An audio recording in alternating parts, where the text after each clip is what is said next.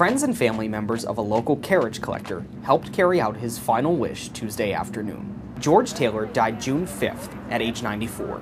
He was known by those close to him for his extensive collection of antique carriages.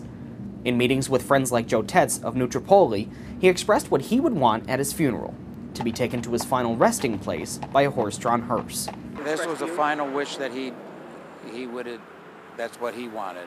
Traffic was halted at times along Wyoming Avenue as the funeral procession made its way from the Forty Fort United Methodist Church to the Wyoming Cemetery, passing his home one final time. The clip clop of polished hooves could be heard over the hum of car engines along the way. Taylor collected and restored more than 200 antique carriages after beginning his work in 1970. Aside from his unique hobby, he was a member of the Kiwanis Club of Wilkes-Barre and served as a Sunday school teacher. Those responsible for today's service say they were happy to honor him with such a special goodbye. Uh, he was just a prince of a guy. He was a great, great guy, easygoing, honest. It's a final tribute to a great, great life. Chris Hughes, TimesLeader.com, Forty Fort.